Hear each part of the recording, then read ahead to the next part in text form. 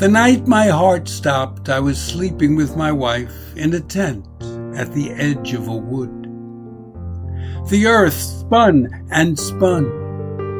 Silent, in a cold sweat, I felt myself going under. I crawled out of the tent, careful not to wake my wife, and onto a chaise lounge. Under the spinning stars, my heart started and stopped, started and stopped, started.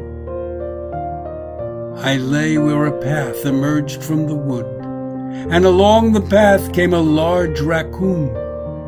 He walked over to me and raised himself up not four feet from my eyes. We stared at each other with focused understanding, words without words, eyes beyond eyes, a giving and a taking that stilled my raucous heart.